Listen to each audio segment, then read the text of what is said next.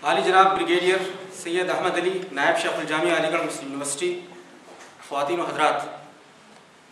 ये इस खादिम ज़ियाउद्दीन मलिक फ़लाही की सआदत है कि वो इस्लामाइजेशन ऑफ़ सोशल साइंसेस, यानी समाजी की इस्लामी तश्कील के मौजू पर डॉक्टर उबैदुल्ला फ़ाहद फ़लाही की हालिया इशात पजीर किताबों के हवाले से मुनद होने वाले मबासा की निजामत के फ़रज़ अंजाम दे रहा है। इस तकरीब सईद में आप सबको खुश आमदीद। हजरात ख़वातीन, समाजी जो मगरब में परवान चढ़े और जिनकी तदरीस आज हमारी असली दानिशगाहों में हो रही है, उनकी बुनियाद मगरबी अफकार और नज़रियात पर रखी गई है। उनमें नेशनलिज्म ह्यूमनिज्म कम्युनिज्म ग्लोबलाइजेशन और सारफियत को ख़ास मकाम हासिल है। ये ूम अफकार वही इलाही से बेनियाज होकर तश्कील दिए गए हैं। और इसीलिए इनके फ़ारग तहसील, तलबा इस महक्कीन और दानश्वर न माशरे के लिए सूदबंद साबित हो रहे हैं और न इंसानियत की तरक्की का ज़रिया बन रहे हैं। मज़हब और रूहानियत से बेजार, बेजारी के नतीजे में आला अकदार का फुकदान है और मफाद परस्ती, कैरियरिज्म और कंज्यूमरिज्म ने इल्म तहकीक की बेवकती में इजाफा कर दिया है। ज़रूरत है कि इस्लाम की आला तालीमत और रूहानी अकदार की रोशनी में इन ूम की तदवीन की जाए। यह है वो बुनियादी नुकता जो डॉक्टर उबैदुल्ला फ़हद की हालिया तसानीफ का महवर है। मैं दरख्वास्त करूँगा प्रोफेसर जफरुल इस्लाम इस्लाही, सदर शोबा इस्लामी के स्टडीज़ अलीगढ़ मुस्लिम यूनिवर्सिटी से कि वो मेहमानों की खिदमत में खैर मकदमी कलमात पेश करें। प्रोफेसर जफरुल इस्लाम इस्लाही।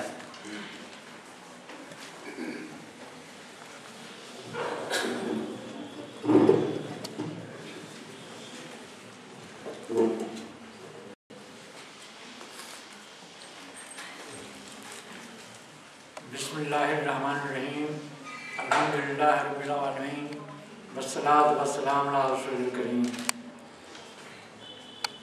मोहतरम प्रभाई चांसलर साहब dean faculty of social sciences professor Shahad Hussain साहब। मेहमान ग्रामी प्रोफेसर मोहम्मद सिद्दीकी साहब मेहमान ग्रामी हाजरीन कराम On behalf of the Department of Islamic Studies, I am pleased to welcome our Honorable Vice Provice Chancellor Sahab and all of you. I am thankful to Provice Chancellor Sahab for gracing the occasion and presiding over this program. This is his first visit to the Department of Islamic Studies, so I would like to present a brief introduction of the department and its activities. The Department of Islamic Studies and Arabic is mainly located in the Zohor Ward, which is a building of, of great historical significance.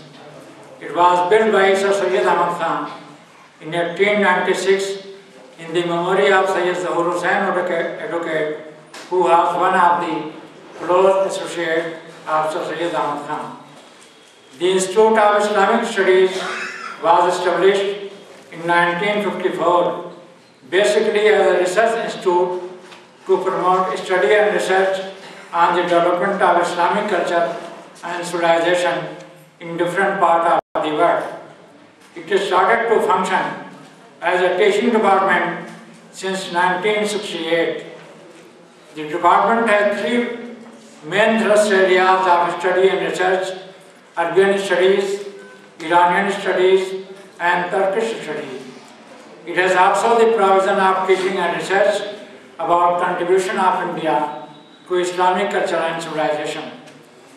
The department, in the department, in addition to tafsir, hadith and the fiqh, the courses taught are related to the development of Islamic culture institutions in Spain, Turkey, Iran, Central Asia, South Asia, and Africa, as well as intellectual development and achievement of Muslim thinkers and scholars of medieval and modern period. The present faculty position is two professors, six associate professors, two assistant professors, one research assistant, and five guest faculty. Apart from teaching, research and publication also included academic activities of faculty member. On the occasion of this book revision program, I am happy to point out that every faculty member of the department has to his credit some publications in the form of books and research papers. During the last five years, about 38 books and 100 research papers of the faculty members were published. The department has till now published more than 60 books into English and Urdu. Its several publications are in high demand at the record of publication division of the university shows. Two journals in Urdu and English are also published by the department. Apart from, at present, there are about 14 such scholars in the department. During the last two years, 32 students of the department have qualified NET and JRF. In the last five years, PhD and MPhil degree was awarded to 23 students. This is also a distinction of the department that its students included foreigners also at UG, PG and PhD level. These students had been from Saudi Arabia, Jordan, Libya, Indonesia, Thailand, Australia, Mauritius, Bangladesh and Yemen. Two Christian scholars, including one Australian, completed their PhD degree in this department and one Christian student did MA in Islamic Studies. Organizing seminar and extramural lectures is a regular feature of this department. During the last session, one seminar and 10 extramural lectures were held in the department. In the current session, till now, two extension lectures have been organized and the learned speaker in these programs were from the Department of Religion, University of Bangkok, Thailand, and Center for Islamic Economics, King Abdulaziz University, Jeddah. This year's seminar is scheduled in March 2013. Proceeding of the different seminar of the department have been published in the book form. Some of, the, some of these became quite popular in the academic circuits. These included Quran and Science, Hujjatullah al-Balagha, and analytical study, contribution of Sir Sayyid to Islamic studies, contribution of Sheikh Ahmad Sarindi to Islamic thought, and role of Muslims in the freedom movement of India. The library of the Institute of Islamic Studies is a very rich and specialized library of Islamic and Oriental studies with a number of rare books and journals. It contains about 60,000 books and bound books and bound journal in Arabic, Persian, Urdu, English, Turkish, French and German. The number of the current journal of different languages is about 50. The library has two special sections on books on Shahullah Dehalvi Rahmatullah and Sir Ahmad Khan Rahmatullah Today we are fortunate enough to have a galaxy of learned speakers who will speak on Islamization of social sciences with reference to books and books of Dr. Abdullah Fad of the Department of Islamic Studies.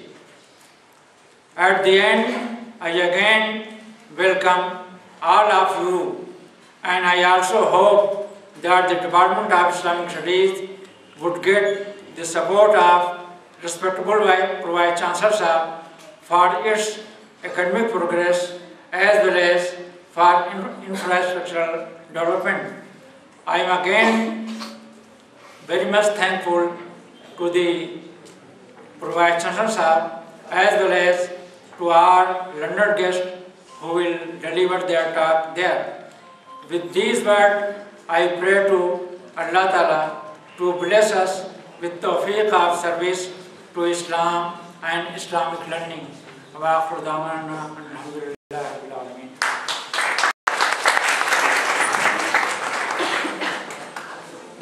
शुक्रन जदाकल्ला अब रस्म इजरा की कार्रवाई के लिए मैं दरख्वास्त करूँगा शोभा की रिसर्च स्कॉलर लुबना नाज से कि वो ताउन करें। पहली तसनीफ़ है इस्लामी उमरानियात शाह दहलवी रहमत के अफकार का मतारा इसका इजरा फरमाएँगे dean faculty of social sciences professor Shabad Hussain साहब।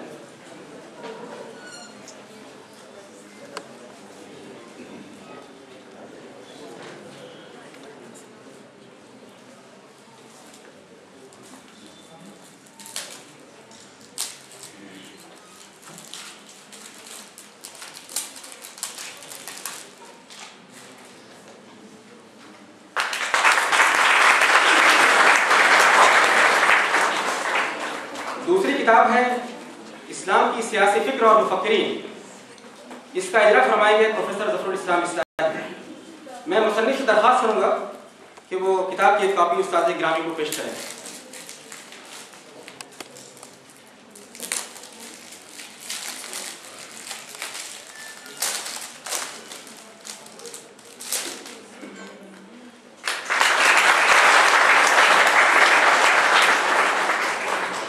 ताज़ा तरीन किताब है खुदा की बस्ती में सफ़रनामा लाहौर और इस्लामाबाद। इसके लिए बसद अदब और अहतराम दरख्वास्त करूँगा। प्रो वाइस चांसलर जनाब सैद अहमद अली ब्रिगेडियर से कि वो अपने दस्त मुबारक से इसका इजरा फरमाएँ नहीं खोलने की क्या ज़रूरत है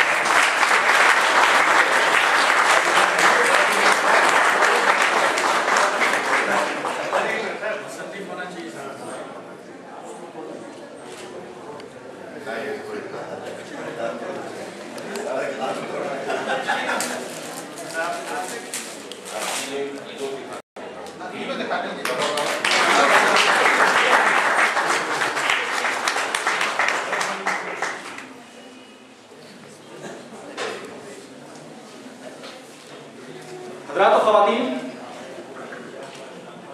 रस्म इजरा की तकरीबा का इल्म अदब और फ़िक्र फ़न के फ़रोग में अहम हिस्सा है। इनका मकसद किताब और साहिब किताब का तारुफ होता है और तजिया और हिसाब भी। मैं दरख्वास्त करूँगा अरबी अदब के गिरा कदर उस्ताद से, जो सर सैद की शख्सियत और फ़िक्र को आलम अरब में मुतारफ़ कराने वाले दानश्वर भी हैं और तराने अलीगढ़ के अरबी मुतरजम भी, यानी प्रोफेसर मोहम्मद सलाउद्दीन उमरी। आप मुसन्निफ के फ़िक्र पर रोशनी डालेंगे। प्रोफेसर सलाउद्दीन उमरी साहब।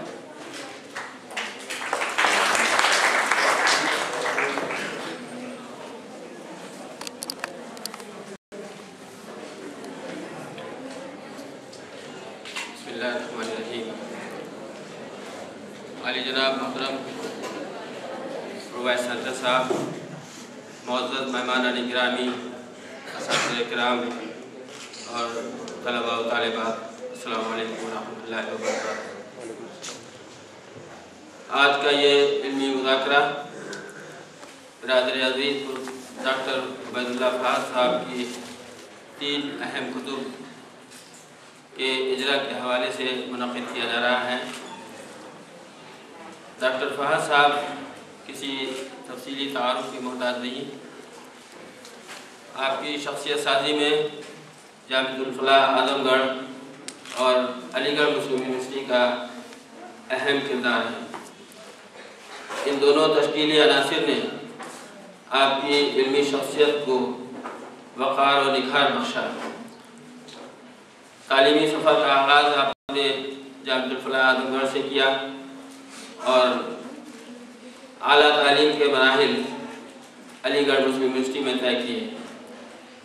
बहसीत तालब इल्म हो या बहसीत उस्ताद आपने अपनी इल्मियत के वक़ार को न सिर्फ़ बाकी रखा, बल्कि अपनी अनथक मेहनतों से दिन ब दिन उस पर निखार पैदा किया।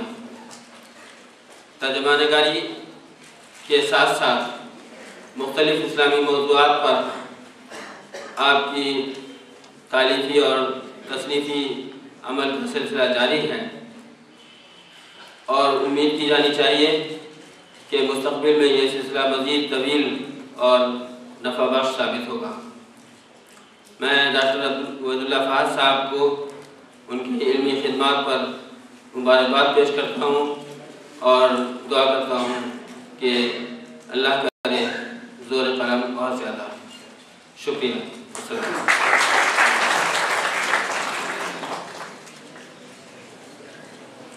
कुरान और साइंस के मौजू पर मुस्ंद स्कॉलर प्रोफेसर मसूद अहमद, शोबा बायोकेमिस्ट्री अलीगढ़ मुस्लिम यूनिवर्सिटी। अगली किताब इस्लाम की सियासी फ़िक्र और मुफक्रीन पर इजहार ख्याल फरमाएँगे। प्रोफेसर मसूद अहमद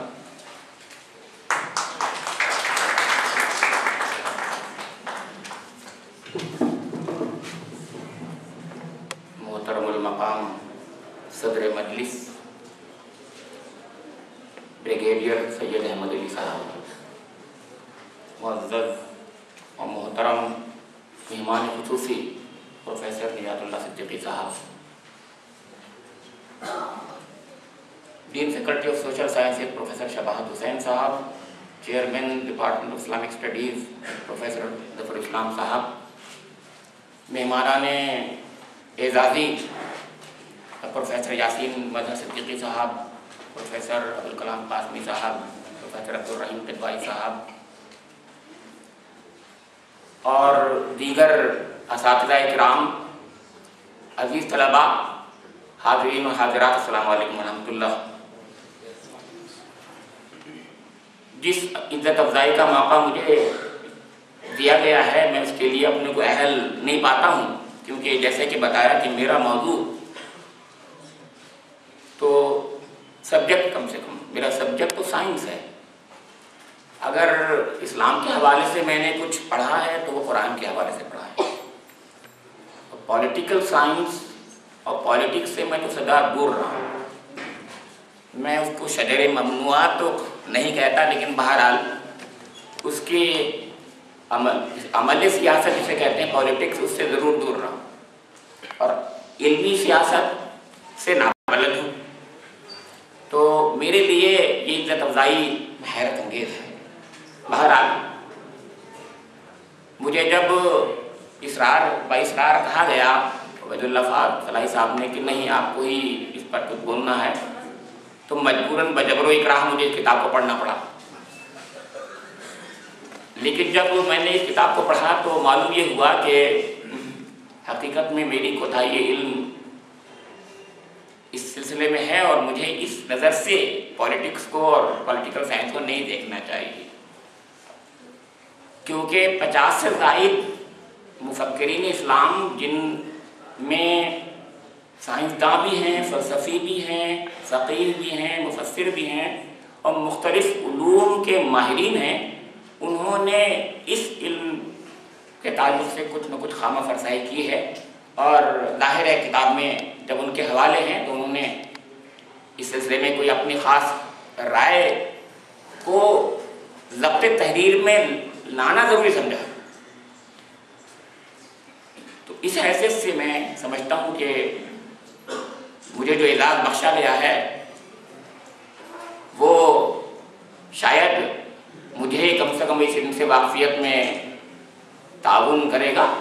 और मैं आप लोगों से भी चाहूँगा कि कम से कम अब पॉलिटिकल साइंस को उस अंदाज से जो लोग मुझ जैसे हैं, न न देखें, बल्कि दूसरे अंदाज से भी देखें। आपके सामने मैं जो चंद बातें कहूँगा, के ताल्लुक से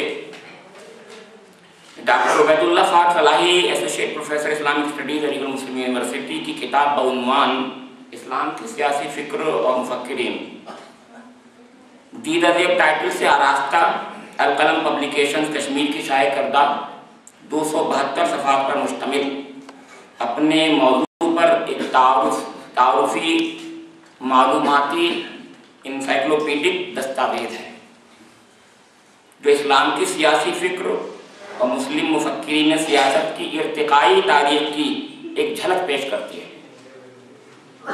फाजिल मुसनफ़ ने इस वक़ी तसनीफ़ में इस्लामी ूम की तदवीन के आगाज़ से शाह वलील्लाह के ज़माने तक ग्यारह सदियों पर मुहित सियासी फ़िक्र इस्लामी के असासी मुतनवे और इरतकाई पहलुओं को उजागर करने की कोशिश की है।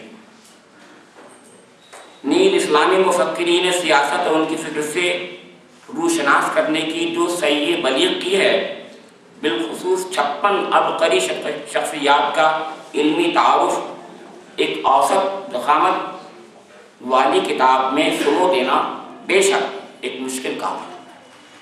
जिसके लिए वजह तौर पर मुबारकबाद के मुस्तक हैं।